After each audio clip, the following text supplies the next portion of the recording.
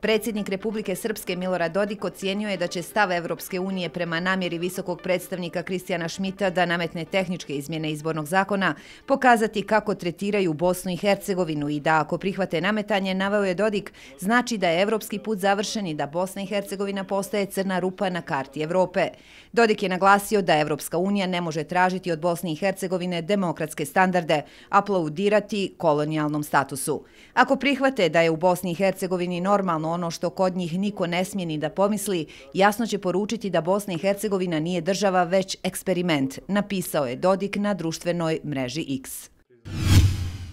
Mi smo bili veoma jasni u prošlosti u vezi bilo kakvog pokušaja da se rasturi država ili Dayton. Jasno smo o tome govorili. Koristili smo sredstva koja imamo na raspolaganju. Poslali smo jasan signal naše posvećenosti Bosni i Hercegovini i njenom teritorijalnom integritetu, rekao je američki ambasador u Bosni i Hercegovini za Hayat televiziju.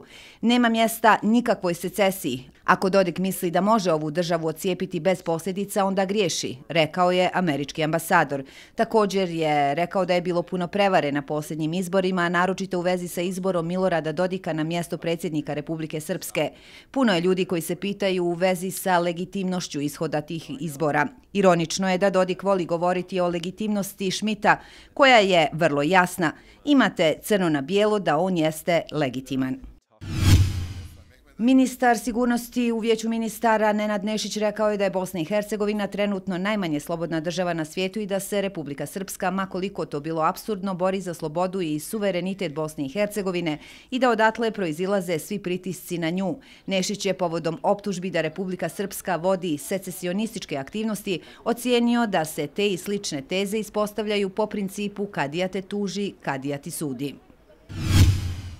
Na redovnoj sesiji Asocijacije nezavisnih intelektualaca Krug 99 danas je profesor Enver Išerić govorio o temi nemoć države i nemoć internacionalne zajednice pred nasiljem. Kako dalje?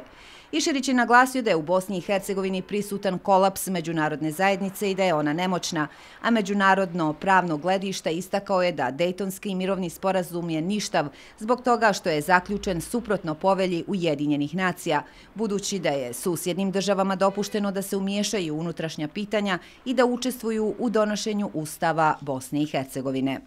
Izvor svih uzroka nemoći državi Bosne i Hercegovine da se bori protiv nasilja koje se provodi nad građanima Bosne i Hercegovine, nad Bosnom i Hercegovinom i nad institucijama Bosne i Hercegovine leži u Dejtonskom mirovnom sporazumu. Dejtonski mirovni sporazum je legalizirao to stanje koje je stvoreno silom i mi tu još uvijek imamo tih problema u tom smislu da se susjedne države miješaju u unutrašnja pitanja Bosne i Hercegovine.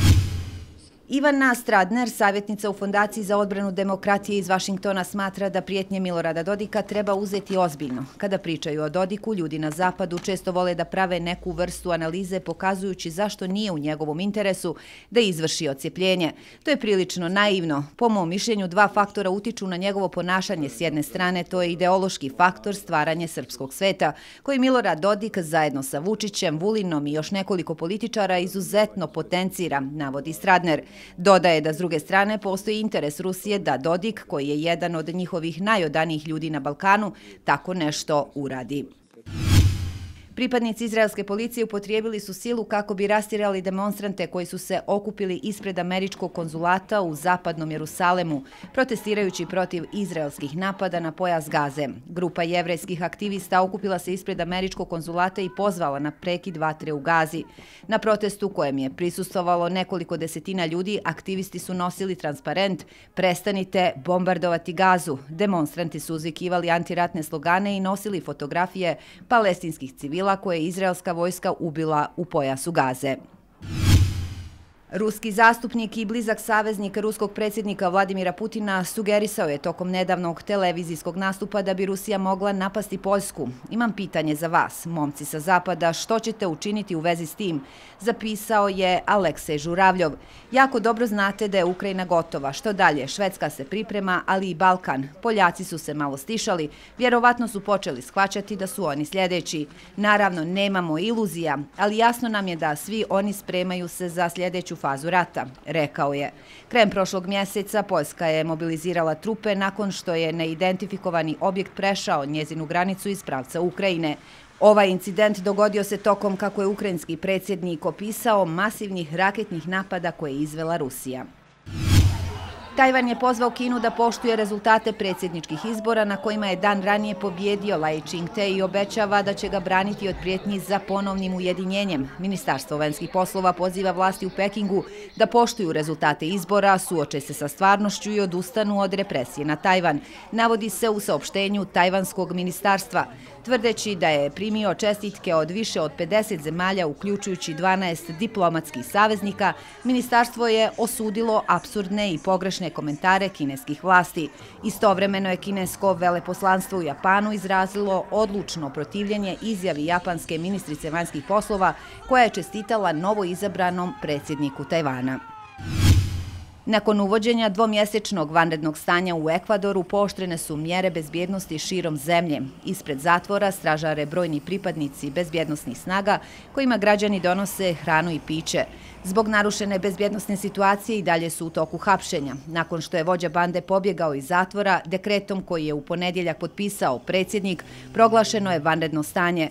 Generalni sekretar za komunikacije kabineta predsjednika izjavio da je pokrenuta operacija sa oko 3000 pripadnika snaga sigurnosti nakon što su vođa bande i nekoliko zatvorenika pobjegli iz zatvora. Policijski sat uveden je između 23 i 5 sati tokom ovog perioda.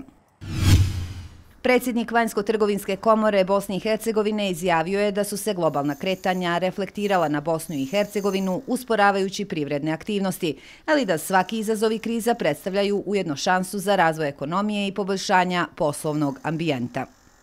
Mi ove krize ne promatramo uvijek kao krize. Evo, ponavljam, to su za nas određene vrste šansi. Naravno da smo evo, prema sadašnjim makroekonomskim pokazateljima bilježili stanovite padove. Ukupna vanjsko-trgovinska razmjena pala je negdje za oko milijardu konvertibilnih maraka, ali to nikada ne cijenimo zabrinjavajućim. Razlog tome je da smo mi u našem poredku zadržali trajno naša stara tržišta od Njemačke, Austrije, Slovenije, Hrvatske i Srbije ili ovdje u CEFTI. Naravno da to nama daje veliki pozitivan polet u svemu tome. Evo, polet kojeg smo se dotakli u cijeloj ovoj godini. Gledajući sve to skupa, globalna kretanja su se reflektirala na Bosnu i Hercegovinu, više nego sama ta neka regionalna ili ono što kažemo da je do nas. Sve ukupno, možemo ocijeniti da je godina ipak bila uspješna. Nismo doživjeli stravične padove, nismo izgubili strana tržišta, nego smo se proširili na neka tržišta. Sarajevo, glavni grad Bosne i Hercegovine i domaćin zimskih olimpijskih igara 84. značajna je zimska turistička destinacija koju redovno posjeti veliki broj gostiju i turista iz mnogih država. Gosti tokom posjete Sarajevu posebno budu očarani prirodnim ljepotama Bosne i Hercegovine i planinama oko Sarajeva. Sarajevo također zbog bogate ponude bosanske kuhinje i dosta pristupačnih cijena spada među značajna središta zimskog turizma u regiji Balkana. Svake godine provodi na Bjelašnici. Trude s ove godine je da ima manje snijega, stvarno trude, rade topovi, tako da je top sada. Pa lijepo je, stvarno sunčano je vrijeme, danas mnogo ljepše nego što je bilo, kao krenula je sezona, napadao je snijeg, tako da lijepo se provedimo. Bjelašnica se dosta promijenila i mnogo je poboljšano skijanje više topova, više pogodnosti, bolje staze. Tako da očekujem ovu sezonu još bolju nego prošlu i svaku drugu da se još poboljša.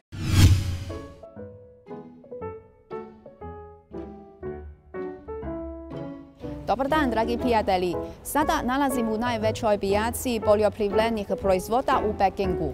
Ovdje svaki dan stižu različiti proizvodi širom zemlje. Potom se distribuiraju u različita područja grada. Ovo je more hrane. Hajde da pogledamo. Zima je, ali je ovdje mnogo dobro. Kamioni su došli iz raznih delova zemlje. Vozači su satima vozili bez predaha da donesu poljoprivredne proizvode u glavni grad. Ako ste ljubitelji guvanja, pijaca Sinfati je svakako nezaobilazna lokacija. Danas imam jedan mali zadatak da vidimo šta mogu da kupim sa 100 juana, odnosno malo manje od 1500 dinara. Na ovom spratu su mesara. Ovdje ima različitih vrsta mesa i veoma uredno je raspoređeno. 你好，咱们这个三文鱼都是什么产地的呀？咱们咱们家做的产地比较多，品种比较多，有挪威的、冰岛的，还有丹麦法罗群岛的。呃，像卖的最好的是哪国的三文鱼？卖的最好的基本上就是挪威的，因为挪威的是第一个进入咱们中国市场的。像每天这个现在咱们这个卖的量大概能有多少？平时是几十斤，过年过节的话百来斤，一百多斤。哇，那就来的人就得都得排队排队买。排队，对。像这个，如果我今天想给孩子做辅食的话，您给挑挑一块呗。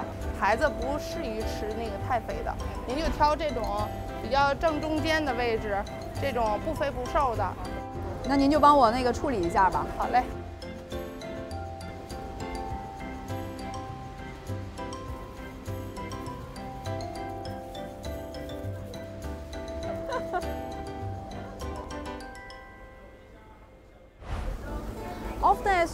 Morski prodovi, obožavam morske prodove jer su bogate sa proteinima. Ovdje ima jasnozi i rakovi, svi su veoma sveži.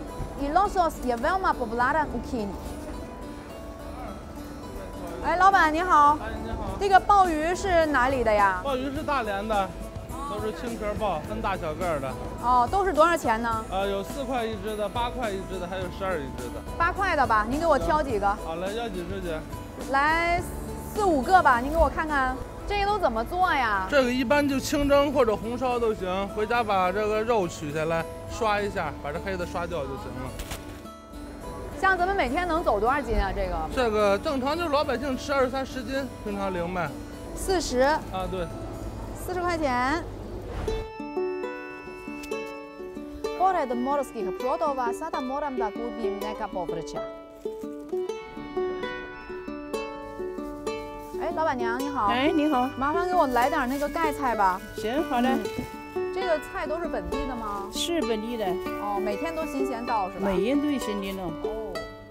来买的人多吗？还行吧，一般般。嗯。然后再来点鲜芹。就两个菜，够了吗？对，够了。好的。刚刚给我。一共十三块六，给我十三。哎，好的。